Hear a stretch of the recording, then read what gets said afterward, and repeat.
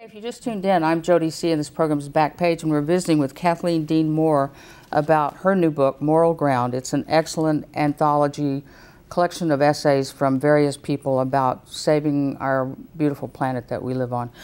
Um, do you have one or two that you'd like to read to us in here? Well, I thought it was really quite wonderful, the poem by Gary Snyder, our California poet, mm -hmm. who wrote this some time ago. It's called For the Children. Mm -hmm. The rising hills, the slopes of statistics lie before us, the steep climb of everything going up, up as we all go down.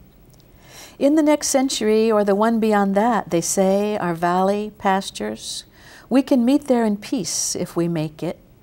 To climb these coming crests, one word to you, to you and your children stay together, learn the flowers, go light. Hmm.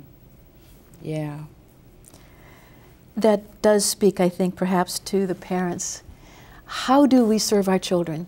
Mm -hmm. You know, I had, we were on the road and the one man came up to me after our talk and he just planted his chest right in my face and he said, I don't care about ethics. All I care about is my daughter.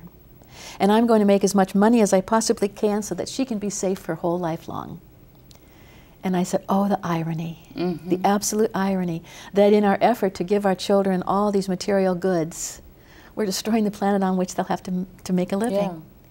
Uh, and then the irony is, is, is much worse when you think about how we treat children who aren't privileged children. Yeah. So I like what Gary has to say about the things that we need to focus our attention on. We could live differently